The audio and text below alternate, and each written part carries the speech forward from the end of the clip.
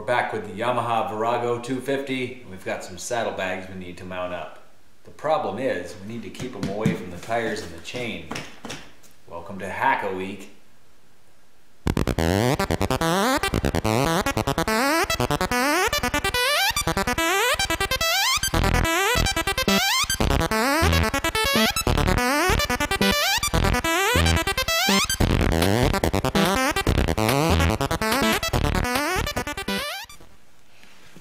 Lisa's got these saddlebags she wants put on her bike, but the problem is if you just hang them over the rear fender and tuck them under the rear seat, there's a spot right here where they like to rub against the tire. You can see they just kind of flop around and they hit the tire here and they hit the chain right there, which is not good at all.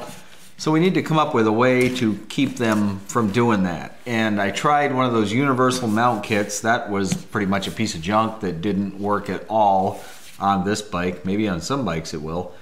But I've got an idea that I think might work by putting a piece of flat stock aluminum between the signal light mount and the rear control arm. And I think even with the suspension moving up and down, it'll still work to keep the saddlebag away from everything. So, you know, let's give it a try and see what we come up with. So these things mount up pretty easy. Uh, it's just a zipper that holds them on. Not much to it. You can take them off and then you can gain access to the inside and get your goodies out of there. And there's a strap that goes over the top here and the rear little itty bitty seat just kind of squishes down on all this stuff and holds them in place. I've had these on before and it's a real pain in the butt to tighten everything down because it really has to squish all this stuff pretty damn tight. Um, but you know, they're what she wants on here, so we're gonna see if we can make it work. So what I'm thinking is, let me just take a piece of that flat stock and put it up here where the signal light mount is, drill a hole through it, let it just hang down like right here, and push against the control arm. Because the fender has an angle that comes straight down, when I tighten up the uh, signal light on that piece of metal, it'll just kind of push into the control arm right here. So, you know, as time goes by and you ride around and it bounces up and down, sure, it's going to put a little bit of wear mark on the paint on the control arm. But, you know, it's a really, really simple solution and I think it just might work. Because the alternative would be to make a little frame that hangs down here like this somehow and I got a feeling that's just going to vibrate around and be a little strange and not really get the job done the way I want. So first order of business will be to pull off this light and uh, see what size hole I need to drill in the piece of metal and do that and then stick it on there and just basically see if it works. So to get at the wiring for the signal light, which kind of runs inside the fender and goes underneath the seat, I've got to pull the seat. On this bike, the seat is held on with two uh, six millimeter bolts with a 10 millimeter head on them. It's not really a, a seat that's meant to be popped off easily and used for storage underneath at all. It's a really basic little bike. It's a great bike to learn on. Um, it's uh, Lisa's first bike, so pretty lightweight. Uh, can't really get in trouble with it because the acceleration's pretty minimal, so you can't really accidentally pull a 12 o'clock wheelie with this bike. So let's see here. We'll pull this off. And sure enough, right here is where the harness comes through for the two tail lights. So if I just undo all this, it's color coded, pretty easy to put back together. No worries there. Let's just pull the wires off. And now we'll get down underneath here snake it back through, pull this light off, and figure out what size hole I need to drill in my aluminum flat stock. So let's duck down under here and take a look at what we've got. Under the rear fender and up in here where it's kind of hard to get the camera, but I think I can do it. There we go. Right there you can see the signal light comes through right here this is the wire and it runs through these little clips right here that run down the fender and lean forward to the seat. So if I put the camera up in there, you can see where it goes and eventually pokes its way up through underneath the seat. So what I need to do is just pull this harness out of these little clips, which I don't think will be too difficult. Let me uh, give it a little try here. Sorry for all the jiggly camera work, but it's really hard to get the thing down in here. Uh, I think I just kind of have to work it up and out. So here's the wire and it leads up to the signal light right there and there is a nut on the back side of that signal light fixture right there. It's a 17 millimeter. Loosen that up. Really not that tight. Just kind of spin that off with my fingers. And the uh, nut will come off and actually uh, I have to take it off all the way off the harness. As you can see right here, it has to just, all the wires have to come right through it. So the nut's off. Now it's all loose and I should be able to just pull it out. And there it is. So there's the hole where it used to be. That's the uh, size hole I need to drill. Probably about uh, a half inch drill bit will do the trick. So we'll go out to the shop now and uh, do the drilling. Well, actually, I guess I should measure the piece first and then we'll drill it. Okay, let's take a look at what we've got here. We need to go from here to here, but we want to go past it. Right now the bike is fully unweighted. I don't really think the suspension will drop too much more even if you did a little air time with the bike, which wouldn't be too desirable on this thing. So if I cut this piece to uh, 15 inches, let's say, that's just below the control arm, and that leaves just a little bit sticking up above there. So I think that'll be about right. Let's do that, and then we'll drill a hole in the top of it. We're gonna round it off and make it look nice. And then we're just gonna bolt it back on there and see what it does. It's about that simple. I love simple solutions. All right, marked at 15 inches. slice that off.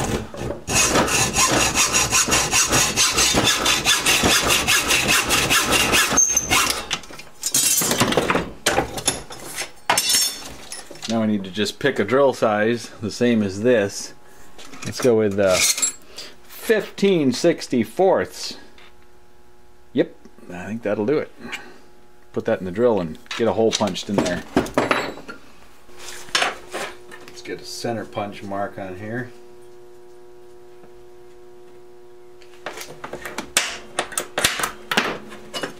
Fire up the drill, get a hole in here.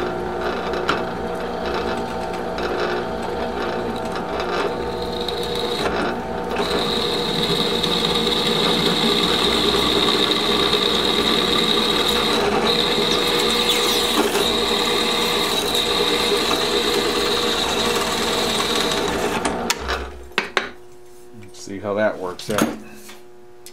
Feed our wire harness through there. Wow, perfect. All right.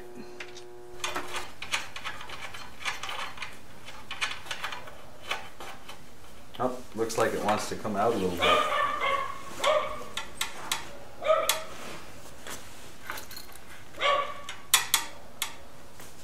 So I may need to bend that a little bit. Looks like I have to bend it up here at the top. Put a little bit of a bend that way in the aluminum so that it will load into the uh, to the control arm because I don't want it just flopping around free. It's going to end up rattling and uh, that won't be good. I got a bit of a bend in it now. You can see there. I'll mount it up against the frame like that and hopefully that will load up enough against the trailing arm here. All right, let's try mounting this up, see what we get. I think this will do the trick.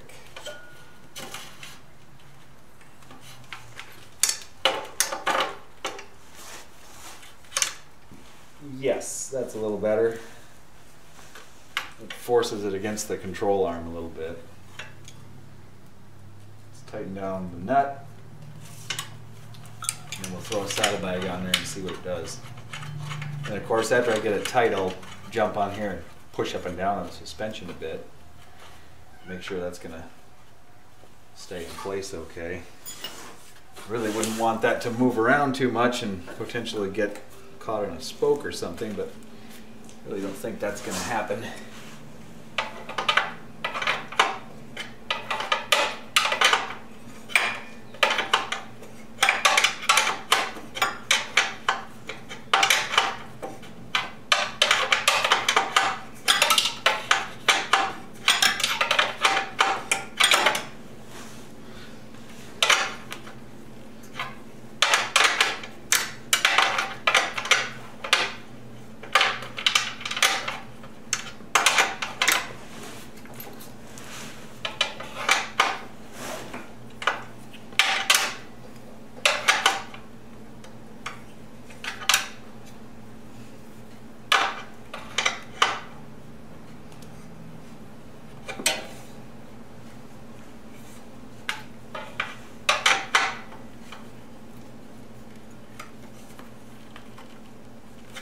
Okay, it's pretty tight.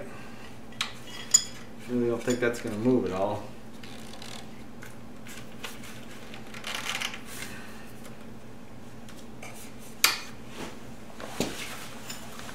Let's give it a bounce here. See what we got. You know, I think that'll be okay. Worst case is it's going to wear a little paint off from the trailing arm.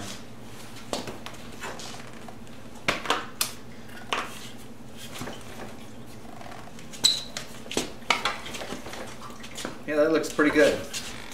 Let's try throwing a saddlebag on and see if it actually keeps it away from all the moving parts.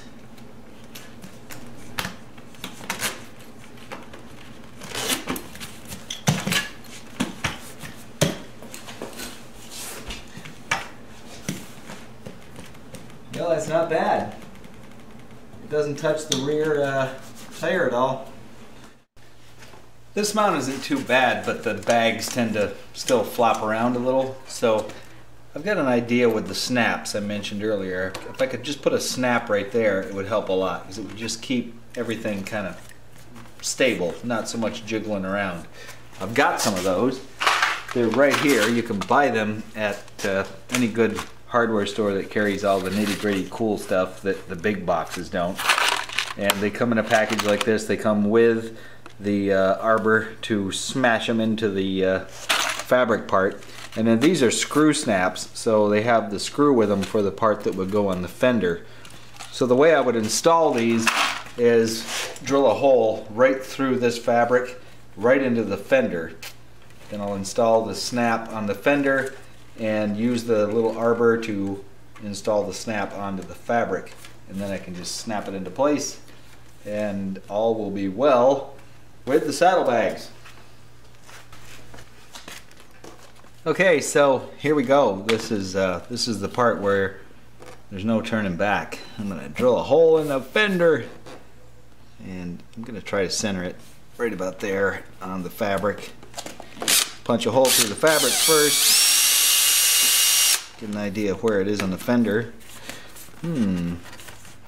I actually don't like that. I'm gonna I'm gonna go ahead and come up just a little on the fender because of the diameter of the snap. If I put it where that hole is, it'll actually be a little below the lip. I don't want that, so we'll come up just a little, right about there.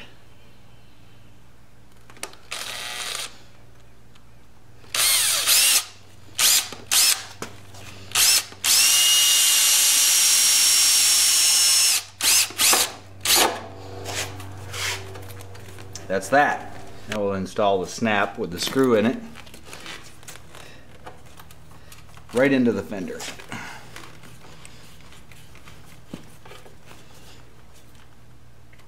And be careful not to over tighten it. We don't want to strip the threads out.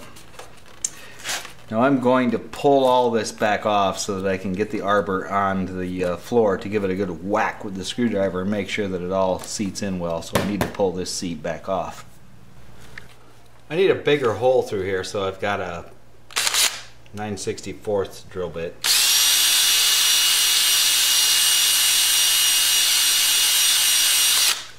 Ideally, a leather punch would be the uh, thing to use here, but I don't have one. There was a time when the leather punch was in everybody's house because it was a common, common tool to use. So the way this will work is the uh, shiny part will go on the outside and the snap will go on the backside. But I'm going through two layers here and I really don't think that these snaps have a long enough shank on them to uh, do the trick as far as the snap being able to get squished on there. So I think what I'm going to have to do is on this back side I need to take an X-Acto blade and actually cut out a circle to allow some room for this to get pushed onto the uh, snap. It's only got about, you know, I don't know, four millimeters of room there. So I'll just cut that portion out and I think that should do the trick. Okay, good old number 11 X-Acto blade here, brand new one. Just slice out a circle here. Being careful not to cut all the way through and not to cut the stitching. There we go, I just lift out that little piece. Now I should be able to poke this through the hole far enough. Okay, now let's put the arbor in place and we'll put the snap on top. And yes, indeed, there's enough metal poking through there now where this portion can actually get on there and squish it. Now I need to get a hammer and just give this a solid whack. I'll show you the basic instructions here on the video, so if you want to pause them and read it and see what you're in store for, this is pretty much it. This is how this whole thing works.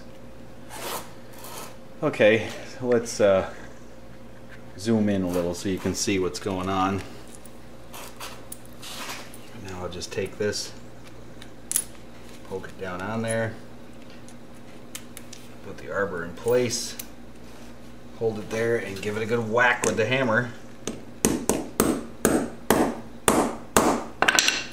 And that should do it. It squished it out nice and flat. Let me give you a close-up shot of what we just did there. You can see that it basically peened over that part poking through and holds this part on. And now that can snap into place on the piece I put on the fender. And on the other side, it just looks like a nice shiny button. Okay, back on the bike, stretched over the rear uh, signal lights, turn signals. All we do is just snap it into place. There we go. It's going to stay there, much more stable than it was before. Let's go ahead and put the saddlebag back on.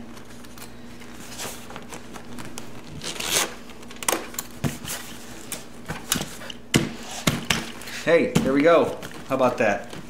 Stays in place much better. I've got a GoPro mounted up to the control arm. Let's go take a drive and see what the saddlebags do.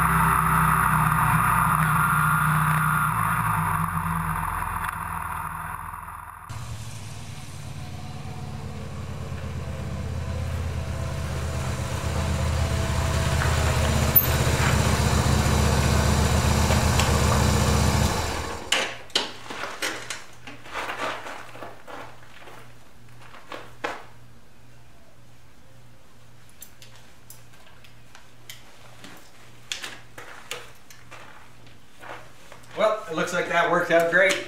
They're staying in place just fine. It's a good deal. We got saddlebags on the Virago. Till next time.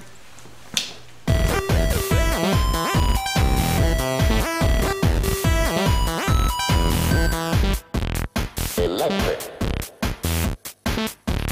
Electric. We're back with the Virago 250 Yamaha Gucci Makaluchi. That's the thing.